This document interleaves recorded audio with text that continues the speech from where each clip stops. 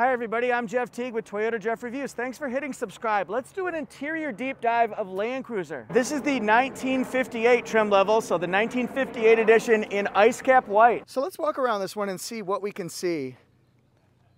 Interior deep dive time. There'll be some exterior features that lead to interior features. That might be kind of interesting too. We also see Tacoma TRD Pro in Terra color, riding around. It's an exciting day, exciting week. I'm filming the Land Cruiser, the Tacoma iForce Max hybrids, the Crown Signia SUV, the Camry, the new Camry, and the 4Runner. Let's talk about some specs on this one before we get to the inside. First of all, it starts at 55,950. See, I got them here. I'll show you the whole spec sheet, but it's 2.4 liter turbo hybrid, 465 pounds of torque, 326 horsepower. The fuel mileage is gonna be 22 in the city, 25 on the highway, 23 combined. A lot better than what old Land Cruiser was getting. More performance fast facts. It's got front wheel disc brakes, rear wheel disc brakes, woo! And also double wishbone front suspension, coil spring, multi-link rear suspension. Let's get our interior first look. That's what you came for, right?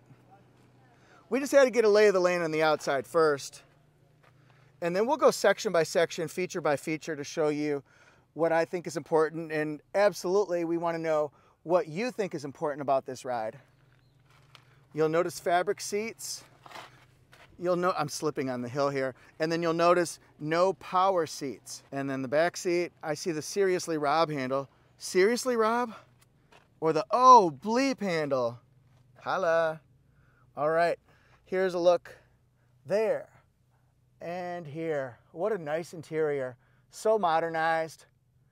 It feels great, especially riding it off-roading, which I already did in a previous video on the channel. And how are we gonna get into the back area? Well, we can hit right between the Y and the O, oi, or yo.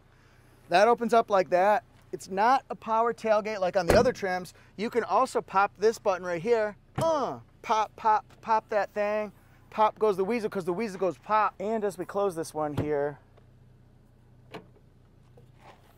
like that. We'll open her up. That's where the hitch goes, up to 6,000 pound tow capacity. Pretty nice, pretty nice. So do we have tie downs? Yes, we do right here. Now remember, this is just the two row option. There are no three rows in a Land Cruiser. If you want three rows, maybe go to GX. That could be an option here. What do we have if we pull this? Ooh, all right, we got storage, jack equipment right there. And look at this one right here, 2400 watt inverter. That is nice. So imagine you can microwave now. You can plug in your electric piano and play it while you're at your campsite, working in the woods. And how about our cargo room? Well, first thing we could do, tumble this seat forward here. I'm gonna use the oblique handles to get up. See, that's a benefit right there. I needed that. I need that. I need this. So we're gonna tumble this one without getting me stuck. There we go. So now we've got room in the back. And here's what the room looks like in the back. Got a little gap there. But look at all this room here. Very tall, very boxy. And then here, here, here. Uh-huh. So do you like the use of that space? And how about backseat space? See, again, I need that.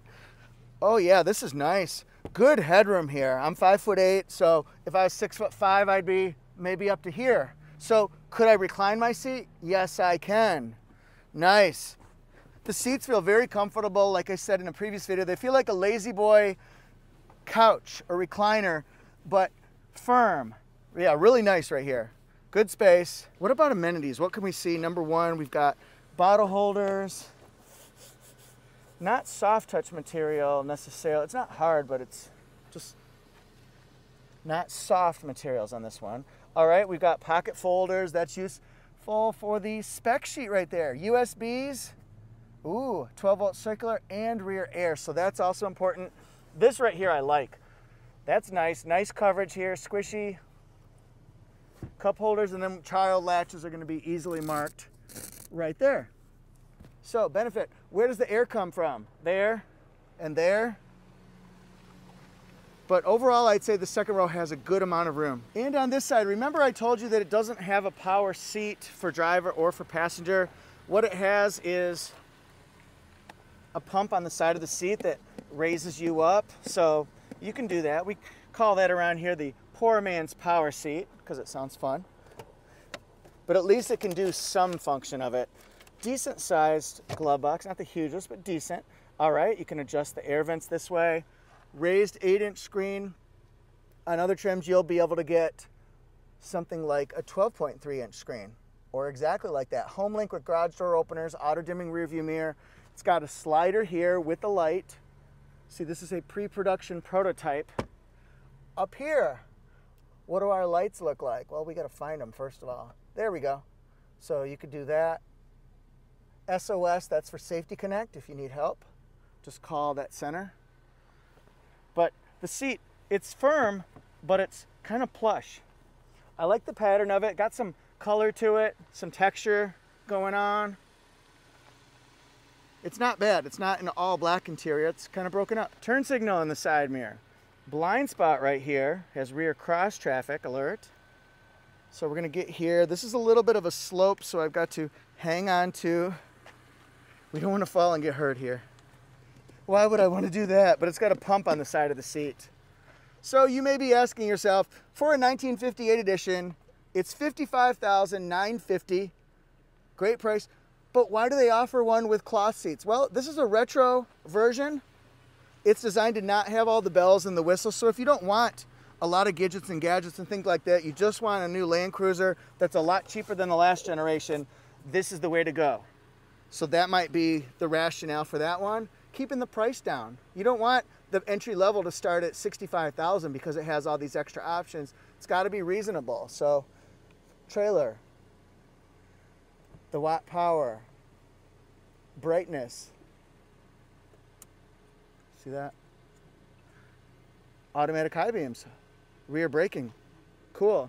Um, I'm just going to hit the horn real quick. All right, there we go. Here's our controls on the steering wheel. And as far as our control layout here, this is Toyota Audio Multimedia. It's Apple CarPlay and Android Auto, but no wires, it's wireless. Voice commands that you can give the car. Hi, Toyota. What's my driving range? Your trip range is 261 miles. Okay, beautiful. Has heated seats standard on it. We just pop up the air like this. That's the front defroster, rear defroster. You can sync it up. Rear air. Heated steering wheel. We can choose different drive modes, electronically controlled transmission, downhill assist control or crawl mode, electronic parking brake and brake hold. Those are of course, nice to have. Traction control on and off. You never know when you need to take that off.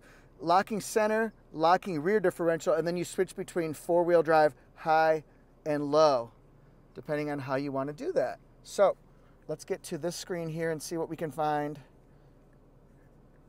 Across it tells us our MPG. We can do driving support, radio,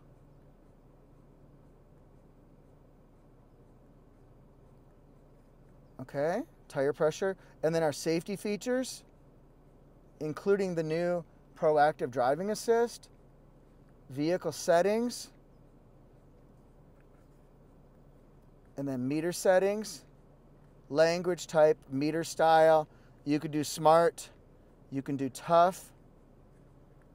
How do we get back there? There we go. You can choose sporty. Let's leave it on sporty for people. All right, so we got Sporty Spice over there. Got the fog light controls. Holla. Adaptive cruise. Lane centering right there because this is Toyota Safety Sense 3.0. And then on this screen here, navigation. Enable the audio, but after I turn it down. So we can do lithium, yeah. 80s, holla. Pink Cadillac, okay. Sinatra, yeah. Okay, we can set up our phones.